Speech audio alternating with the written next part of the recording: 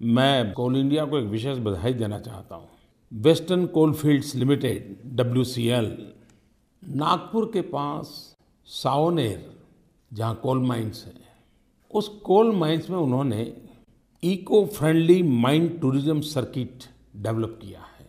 आमतौर पर हम लोगों की सोच है कि कोल माइन्स यानी दूर ही रहना, वहाँ के लोगों की तस्वीरें जो हम देखते हैं तो हमें लगता है वहाँ जाने जैसा क्या होगा। और हमारे यहाँ तो कहावत भी रहती है, कोयले में हाथ काले तो लोग यूँ ही दूर भागते हैं। लेकिन उसी कोयले को टूरिज़्म का डेस्टिनेशन बना देना। और मैं खुश हूँ कि अभी अभी तो ये शुरुआत हुई है, और अब तक करीब करीब दस हज़ार से ज़्यादा लोगों ने नागपुर के पास सावनेर गाँव के निकट ये इको फ्रेंडली माइंड टूरिज़्म की मुलाकात की है। ये अपने आप में कुछ नया देखने का अवसर देती है।